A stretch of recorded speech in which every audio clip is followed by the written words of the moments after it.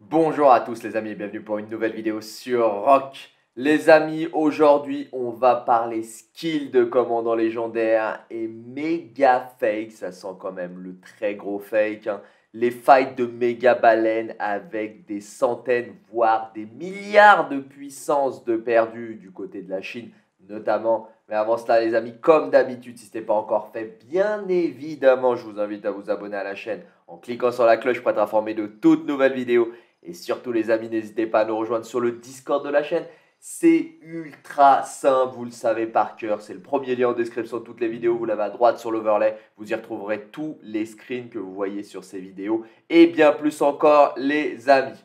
C'est parti, on commence tout de suite avec les events. Comme d'habitude, on a le pop du choc des tempêtes. Alors le choc des tempêtes, c'est pas l'event du siècle, hein, mais c'est sympa et ça permet de gratter des sculptures, notamment depuis que Lilith nous a bien carotte avec l'event saisonnier. Si vous avez raté la vidéo d'hier, je vous invite à aller la voir. On a toujours la prière d'Esmeralda avec deux petites pièces. Allez, je vais les tourner. Oh non, je peux pas en faire par trois. Je vais les tourner par deux directement. On va voir ce tirage en carton que j'obtiens. Ça va faire plaisir. Voilà, deux étoiles. Regardez, qui peut avoir deux tirages, deux fois des étoiles? Il va pas me donner deux sculptures en or. Hein. Non, non, non, deux étoiles qui sont tout pourris, bien évidemment, comme d'habitude, un tirage bien en carton. On a aussi toujours la roue de la chance qui vient de pop. Alors, la roue de la chance, Là, sur ce tirage-là, je vous conseille de prendre Harald ou Guan ou Alexandre si vous ne l'avez pas. Et finissez par chez Ox si cette fois vous en avez besoin, bien évidemment. Moi, je vais aller sur un petit tour avec Harald. Et bien évidemment, la roue de la chance, je vous invite à aller chercher les 10 tours. C'est ce qu'il y plus rentable. Une petite sculpture en or gratuite hein, pour 0.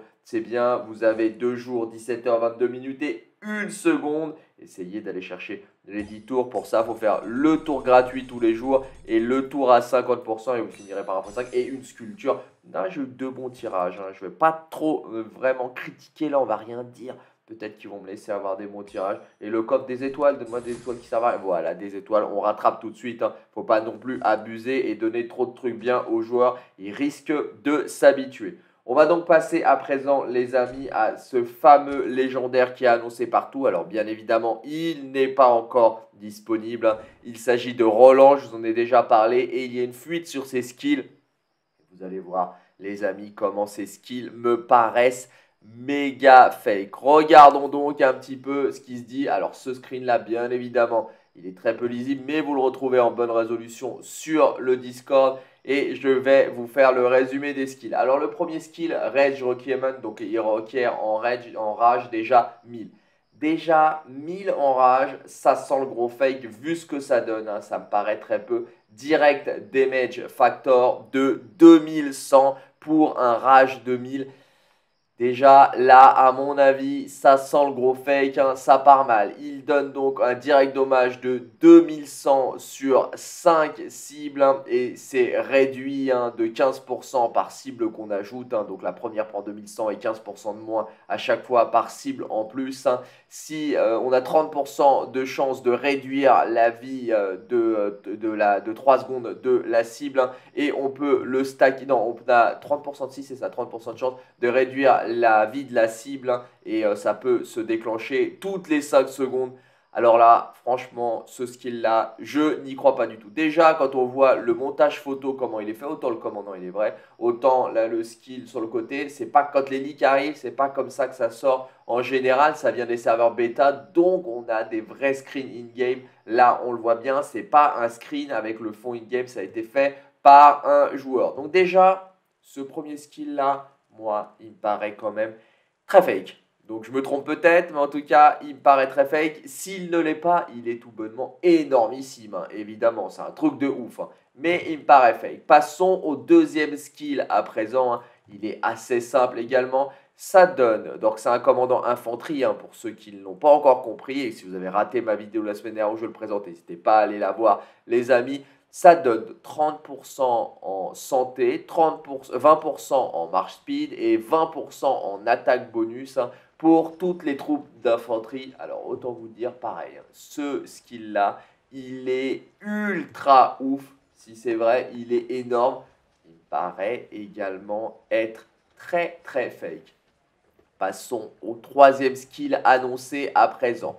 Passive skill toujours, hein, quand euh, les troupes d'infanterie qui sont dirigées euh, par ce commandant hein, ont 5% de réduction de dommages, hein, un skill bonus en dommages de 25% et un damage factor de 400 et il inflige 20% euh, de chance d'infliger des direct damage à 5 cibles sur une zone circulaire pendant 2 secondes avec un dommage factor de 400. Cet effet peut arriver toutes les 6 secondes. Là, ça fait quand même énormissime. Hein. Ça fait un taux. Là, si on prend rien que le 25% de dégâts en plus, hein, c'est l'équivalent de Attila. Hein. et franchement, rien que là, le fait que ce skill-là se déclenche, ça ferait des dommages de ouf. On serait des dommages à plus de 6000 en, en prenant les, euh, les skills d'avant également. Là, c'est clairement n'importe quoi. Impossible, enfin impossible, à part si Lilith a craqué, impossible que ce skill sorte in-game, franchement, je n'y crois pas du tout. On passe au quatrième skill à présent, toujours un passif skill. Hein. Quand les troupes sont sur la map, hein, ça réduit, euh, on a un active skill euh, de, qui, les coups de rage sont réduits de 100. Les troupes dirigées par ce commandant ont euh, pareil une réduction de dommages hein, multipliée par 8% par rapport au nombre de troupes qui l'entourent. Hein. ça peut aller, non c'est le maximum 8%. le nombre de troupes qui l'entourent, ça peut, c'est limité à 5, ça peut se déclencher. Donc 8% x 5, ça me paraît quand même énorme. Ça fait 40% de dégâts, réduction, 100%, de rage euh, en, en en moins. Ça me paraît aussi abusé ce skill-là, sans également le fake. Hein. Pour le moment, j'en vois aucun qui me paraît vrai. Hein. Dernier skill, il y en a un qui peut peut-être être vrai, ils peuvent être proches de cela, mais les chiffres me paraissent ouf. L'expertise, alors l'expertise, elle est aussi dingue.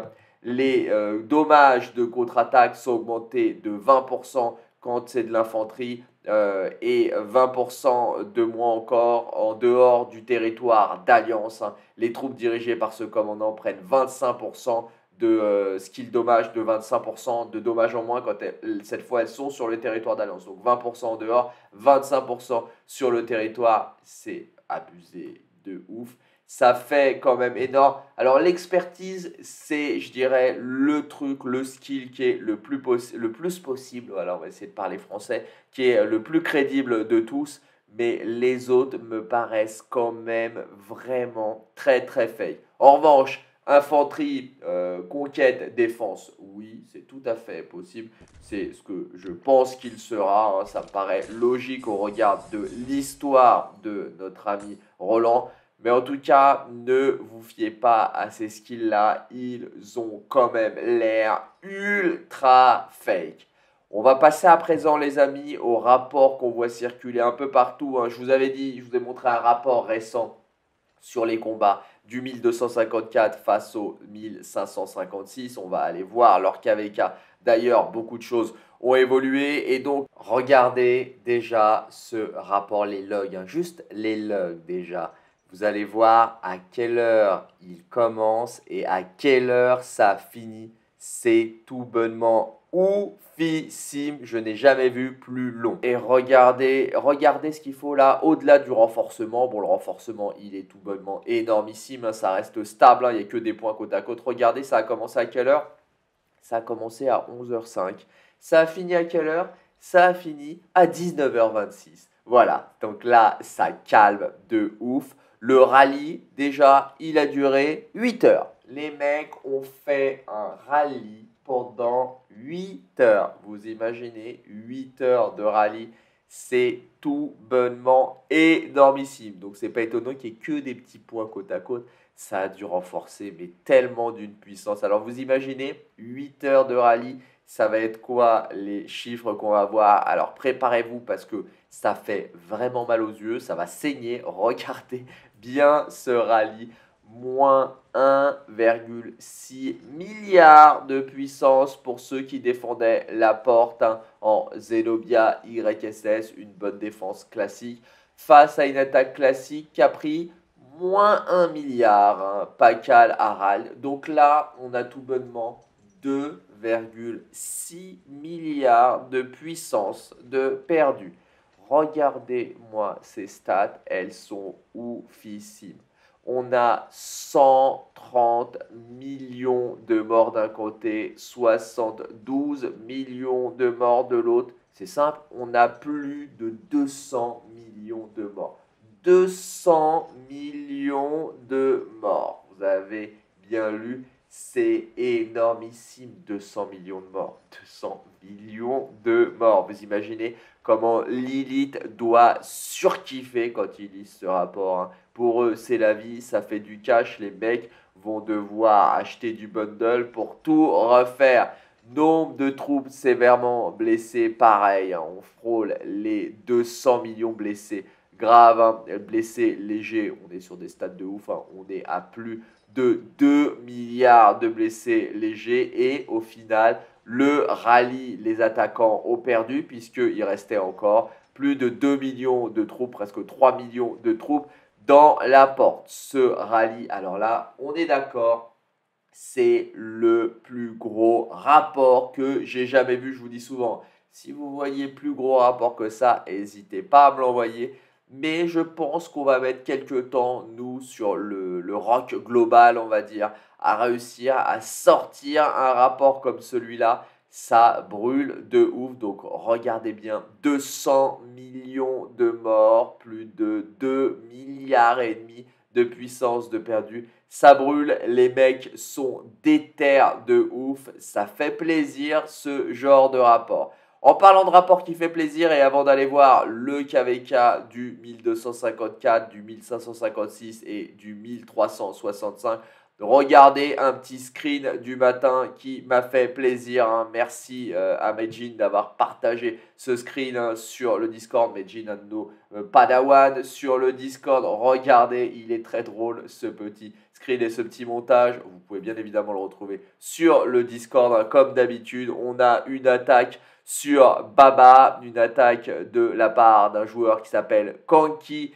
Et Kanki a attaqué notre ami Baba et regardez comme il a pris cher. 6 millions de morts quand Baba n'a pris qu'un million et demi de morts. Une attaque en Gilgamesh Nabucodonosor hein, face à Baba qui avait un Zenobia YSS. Hein. et là, ça a fait bien, bien mal ce rapport. Franchement, ça brûle de ouf hein, quand on perd 6, 6, millions, et pas milliards, 6 millions de morts quand on, de l'autre côté, on n'en fait que 1 million et demi. C'est chaud et regardez les troupes, 98 millions euh, du côté de Pava. Autant dire 100 millions. Il a pris ultra cher notre ami Kanki. Allez, on va aller voir à présent le KVK du, euh, du 1556 puisqu'ils sont terre du roi et ça trash talk, mais tellement, tellement ça trash talk. Hein. Il fallait que je vous montre, je vous montre, je vous montre ça, je commence à bégayer maintenant tellement c'est impressionnant. Je vous le rappelle, 1254, 1556, 1365 et 1875, hein, donc un KVK vraiment qu'avec des méga baleines hein, et un fight de ouf. On le voit, le 1556 n'est plus impérieux. C'est normal, le 1556 va recevoir des méga migrations. Donc même s'il se bat comme un ouf, il fait tout pour sortir de l'impérium. Deux grosses alliances hein, des anciennes alliances du 401, les TN et les Ligues vont venir sur le 1556. C'est pas fini, ils ont vraiment des très grosses migrations à venir. Hein. Je vous en avais déjà parlé. Regardons, il y a Baba, hein, si je dis pas de bêtises, qui va sur ce serveur. Regardons donc ce qui se passe en Terre du Roi. Il reste plus que deux Imperium, le 254 des 365, je vous le disais. Donc, sur la zone des portes de niveau 7 où ça avait ouvert, alors on va retrouver ici, ben, ça n'a pas bougé. On pourrait croire que les forteresses ont brûlé avec le temps, mais non, parce qu'ils sont concentrés sur les terres du roi. Ça n'a pas bougé ici. Ça n'a pas bougé ici, je vérifie aussi, hein. ça n'a pas non plus bougé ici. On dit que le 875 a jeté l'éponge hein, et donc euh, il se laisse un peu faire. Ça n'a pas l'air d'avoir bougé de ouf sur leur territoire. Et regardons donc les terres du roi et regardez qui a pris toutes les terres du roi. Eh bien, ce sont le 365 hein, qui ont pris la ziggurat. Ils sont bien là au centre. Hein. De l'autre côté, le 1254 est sorti également. On le voit, il est sorti là. On a des zones de contact hein. ici. Est-ce que... Ouh là là, il y a du monde, j'ai dire. Est-ce que ça brûle? Alors, ça brûle pas de ce côté-là. Est-ce que ça brûle de l'autre côté? Ça ne brûle pas non plus. Il y a du fight. Alors, de quoi est accusé le 1556 Parce qu'il faut bien le reconnaître. Hein. Ils sont accusés d'avoir fait une petite alliance, je vous le rappelle. Ce KVK est un KVK chacun pour soi, hein. donc c'est un free for all. Le 1365, le 1556 et le 1254 ne sont pas censés faire d'alliance, hein. donc c'est censé être vraiment chacun pour soi. Pourtant, il semblerait que le 1556 n'attaque pas le 1365 et du coup le 1254 se plaint, dire que c'est unfair, que c'est pas très sympa de faire ça, mais c'est la guerre, il n'y a pas de règle hein, selon moi. Et si le 1365 fait finalement une alliance avec le 1556 ou un accord pour ne pas les raser et ne pas se battre en terre du roi, eh bien c'est grandement le problème du 1254 hein, et ça fait partie du jeu. La guerre, il n'y a pas vraiment de règles, hein, je vous dirais. Regardez, cette porte-là, elle est tenue par le 254 qui est sorti sur ce côté-là pour aller attaquer par cette porte-là euh, le, 1556 hein, et pour passer après ici, donc cette forteresse. Ah non, elle ne brûle pas, j'allais dire, ah non, elle est au 254, c'est pour ça qu'elle ne brûle pas. Ils sont sortis là, ils sont passés là, mais ils ne sont pas allés plus loin pour le moment sur ce côté-là. Ah si, ils sont passés là, ils ont mis une forteresse. Ah non, ils n'ont pas mis de forteresse là, je dis n'importe quoi. Ils ne sont pas allés plus loin. Donc voilà, et vous le voyez, la grande ziggurat, hein, elle est fermée pour le moment. Mais qui est sur cette zone-là Si on regarde le, les drapeaux rouges, hein, ce sont bien évidemment, je vais essayer de en trouver un, ce sont bien évidemment les OG, là, les Hold, hein, pour les alliances du 1365, si on regarde la coalition, c'est bien celle des JST. Donc un très gros KVK qui semble se diriger vers, encore une fois, malheureusement pour eux, une défaite du 1500, du 1254, hein. une défaite aussi du 1556 hein, et une victoire du 1365, le 1365 qui va lui aussi recevoir une méga méga migration dans les, euh, les, jours qui viendront après leur fin de KVK. On va voir comment ça va se finir. C'est pas tout à fait plié hein, pour le 1254. Hein. Ils peuvent encore gagner, hein. c'est pas encore fini, mais ça va être très tendu. En parlant de fin de KVK, les amis, on finit sur mon KVK. Regardez donc, le KVK arrive à sa fin, 17, minutes, 17 heures, 6 minutes et 13 secondes. Donc les migrations, soit pour partir sur un autre royaume, soit pour arriver sur mon royaume, vont débuter. Hein. Alors en cette fin de KVK, on se demande ce qu'on fait de toutes nos pièces de saison de conquête. Un boutique de saison, j'ai 737 600 pièces de saison de conquête. Je vous l'ai dit, si vous avez autant de pièces, les thèmes hein, sont à éviter, ils sont tout nazes. Hein. les skins de ville qui sont donnés, ils sont pas oufissimes. Je vous conseille de prendre les coffres de choix de matériaux, les sculptures de commandants légendaires et bien évidemment des plans. Moi, j'ai ma préférence toujours sur l'anneau de damnation, sur la corne de fureur, sur la toile de Mora aussi. Elle est très très bien. C'est mes choix 1, 2, 3, 1, l'anneau, 2, la corne. 3 la toile et après dans l'ordre que vous voulez hein, la pièce de Scola elle est bien le, la dague dissimulée elle est bien aussi et la grande gloire est pas mal non plus alors vous pourriez vous me dire ah bah pourquoi? Eh bien on a aussi euh, le plan euh, vengeance hein, qui est pas mal du tout vous pourriez mais je préfère moi celui-là je le classe en dernier vous pourriez me dire pourquoi ne pas acheter plusieurs plans? Je pourrais acheter 4 ou 5 plans, 4 plans en l'occurrence pour le moment. Pourquoi? Bah, Parce que j'aurais pas de quoi les crafter, hein. donc si c'est pour avoir des plans et les stacker, ce n'est pas très utile. Voilà pour mes conseils sur le store. N'oubliez pas également le store de la ligue, hein. tant qu'il est là, il faut le vider. Voilà, écoutez les amis, c'est tout pour cette vidéo. J'espère qu'elle vous aura plu. Si c'est le cas les amis, comme d'habitude, n'hésitez pas à lâcher un colossal pouce bleu. Vous le savez les amis, ça aide énormément le développement de la chaîne et ça me fait vraiment très plaisir les amis. Si ce n'est pas encore fait, qu'attendez-vous Qu'attendez-vous pour vous abonner à la chaîne? En cliquant sur la cloche pour être informé de toutes nouvelles vidéos. Je vous souhaite un bon jeu à tous, prenez soin de vous, faites bien attention à vous les amis, et je vous dis à plus sur Rock.